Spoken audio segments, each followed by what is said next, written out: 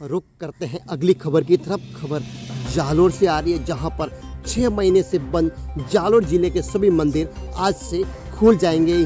जी हाँ एक से बहत्तर दिनों बाद मंदिरों में आज से लोग दर्शन कर सकेंगे। श्रद्धालु सुंदा माता में एक साथ पंद्रह दिनों को जाने का प्रवेश मिला है। मंदिरों में आप घंटी को नहीं सो सकते, दरवाजे को सुनने पर पाबंदी रहेगी। आज सात बजे से होंगे देव दर्शन। थर्मल स्क्रीन के बाद में होगा आपको अंदर प्रवेश। आपको बता दें कि जालौर में 22 मार्च से सभी मंदिर बंद हैं, जहाँ पर सबसे बड़े मंदिर सुंदा माता भी बंद बताया जाता था। इसके बाद में आज से सुंदा माता मंदिर खुल चुका है।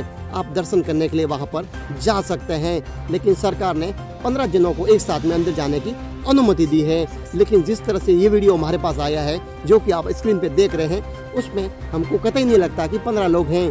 काफ़ी लोग ऐसे ही भीड़ भाड़ अंदर घुसे जा रहे हैं। जैसे मंदिर की सूचना खुलने को मिली तो सुंदा माता मंदिर के बाहर लोगों की भारी भीड़ नज़र आ रही है जिस समय आप वीडियो में देख रहे हैं। ये वीडियो आज का बताया जा रहा है। बाईस मार्च से लॉकडाउन के बाद बंद हुए मंदिरों के पट सोमवार से खुल जाएँगे।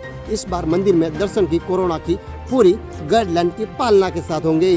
ज़िले में बड़े प्रसिद्ध मंदिरों को श्रद्धालुओं के लिए खोलने के लिए प्रशासन व मंदिर कमेटियों की बैठक की गई, जिसके बाद ये खोलने का निर्णय लिया गया है।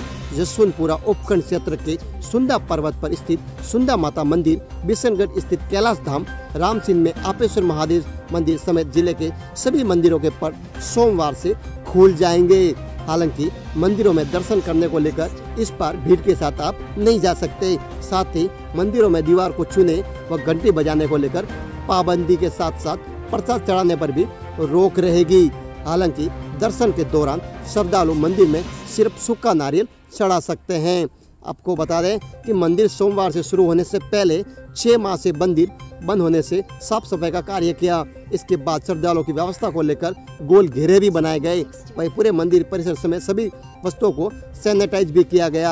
आपको बता दें कि सुंदा माता मंदिर की बात करेंगे तो मंदिर के तैलेटी में आपको नीचे से पंद्रह जनों को ऊपर भेजा जाएगा। इसके बाद आधे घंटे बाद फिर पंद्रह लोगों को ऊपर भेजा जाएगा। मंदिर में प्रसादी पर रोक रहेगी। आप घंटी को नहीं सू सकते। केवल सूखा नारियल भगवान को चढ़ा सकते हैं। थर्मल स्क्रीन के बाद में अंदर प्रवेश होगा। मास्क लगाना अनिवार्य होगा और आपको सैनिटाइज साथ में रखना पड़ेगा। मंदिर की तहलेटी से सूखा नारियल लेकर आपको ऊपर जाना पड़ेगा। ऊपर की दुकानें सभी बंद रहेगी, जबकि रोप वे शुरू रहेगा। मंदिर परिसर में भोजनशाला और समाजों की धर्मशाला में आप नहीं रुक सकते। 22 मार्च से मंदिर बंद थे, आज खुलेंगे, जिससे पूरी तैयारियाँ हो सकी है। मंदिर में पुजारियों द्वारा नियमित पूजा रोज की जा रही थी। सोमवार को मंदिर खुलने के बाद में लोग दर्शन कर सकेंगे। ऐसे में श्रद्धालुओं की संख्या ज़्यादा आने की उम्मीद को लेकर मंदिर प्रशासन की ओर से पूरी तरह कोरोना गाइडलाइन के पालन करते हुए व्यवस्था की है। आपको बता दें कि आपेश्वर महादेव मंदिर राम सिंह की बात करेंगे तो आपको पहले वहाँ पर सैनिटाइज करने के बाद अंदर जाना होगा। वहाँ पर दो दो मीटर की दूरी पर खड़ा रहना होगी और आप वहाँ पर नगाड़े, घंटी को नहीं सूझ सकते। और वहाँ पर प्रसादी भी नहीं बना सकते।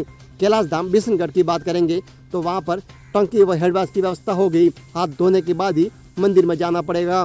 वहाँ पर दो मीटर गोल घेरे बनाए हैं, वहाँ पर आपको खड़ा रहना पड़ेगा।